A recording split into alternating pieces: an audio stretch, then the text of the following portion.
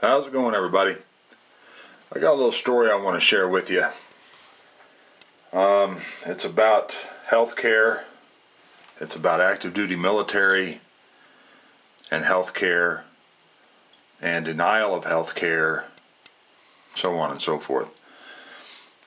I have, uh, you know, I'm I'm ex active duty, active duty. I did 20 years in the Air Force. Um, I've had to have stuff done, uh, medical wise.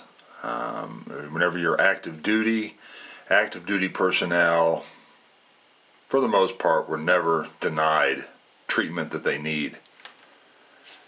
Well, that's changed. I have a good friend that's still active duty.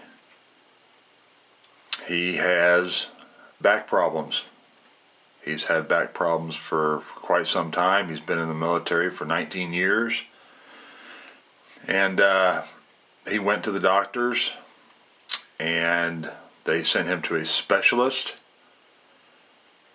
And the specialist did an MRI and they determined that he has two discs in his lower back that need to be replaced. He's uh, 40 years old. So, you know, they're, starting to plan to have this surgery and what have you. The military, the government, whatever, submits the paperwork to TRICARE and uh, they deny it. They denied him surgery on his back when he is still active duty in the United States military. To me, there is something wrong with that picture right there. Active duty military should not ever be denied a procedure, health care that they need. You know, this isn't like he went in there and he's he's wanting to have whatever, Botox injections or some crazy off the wall crap done, you know, elective surgery. His back is screwed up. And he needs to have the disc replacements done, and the government turned it down. TRICARE turned it down. And they're claiming that disc replacement surgery is experimental surgery now.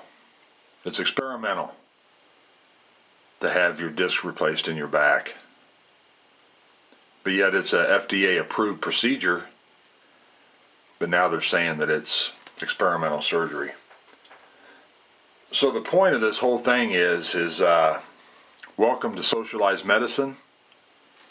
Welcome to what it's going to be like, and even worse, if Obama's health care plan actually goes through the Supreme Court and is upheld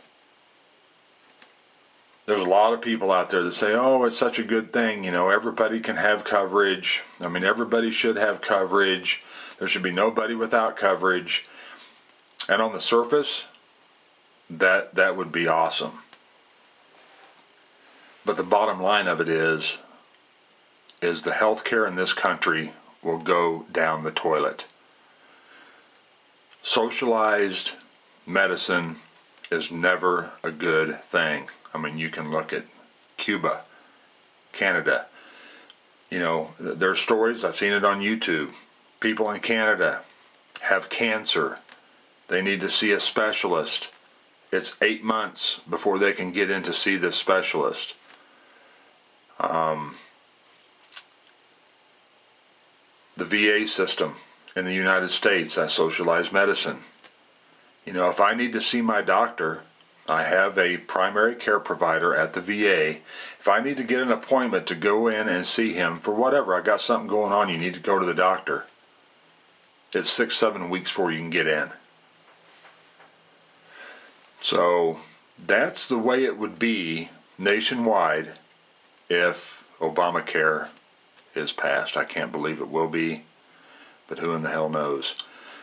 But uh, it's, it's, it's going down to our active duty military now as well being denied health care. Um, he was just told that uh, there have been numerous. This is something that's just, just kind of started happening here just fairly recently. And he's in an appeals process right now, trying to appeal it. I'll update you, you know, how that comes out.